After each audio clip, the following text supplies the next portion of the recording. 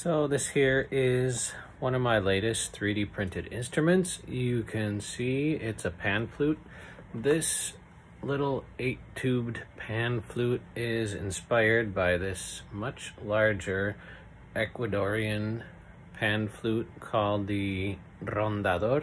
This is in the sense that it's inspired by the rondador is mostly in the scale of the tubes. You can see the tubes are pretty uh, narrow in terms of their length compared to other types of pan flutes, which have thicker tubes. Uh, pan flutes everywhere.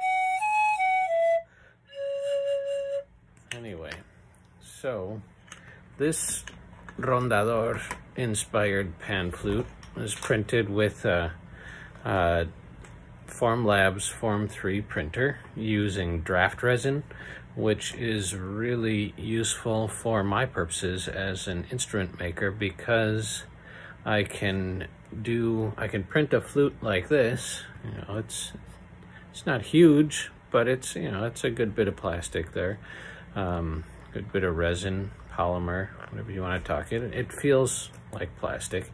Um, feels kind of like PLA or ABS if you've done extrusion printing. Um, but the good thing about this is that in just a couple of hours, I was able to print this.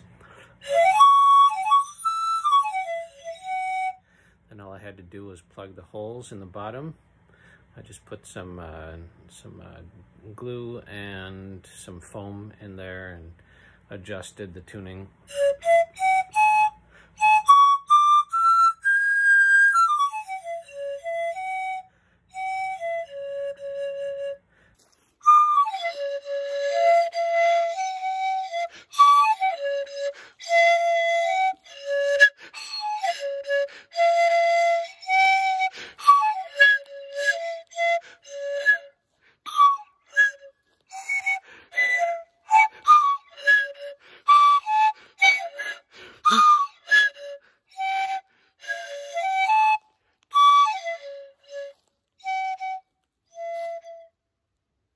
So, um, for me, the main advantage of the draft resin is that it's quick. You know, in a couple hours, I can print this and get a sense of of the scale and the playability, so that um, for my next print, I can use a different type of resin that will have a higher uh, resolution, and I might put some surface decoration on it, um, and most importantly, what I'm exploring is uh, some plugs, some movable plugs that I can 3D print with different types of materials, also on the Formlabs compute uh, Formlabs printer, and then turn these and pretty much any tubes, any pan flutes into tunable instruments.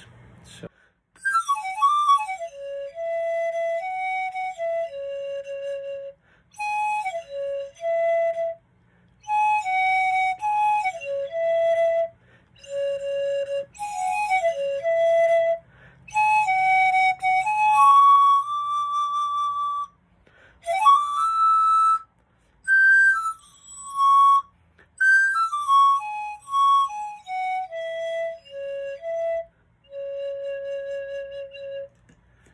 you want to get a sense of what it sounds like compared to uh, Ecuadorian, this one is made out of uh, a type of reed similar to bamboo.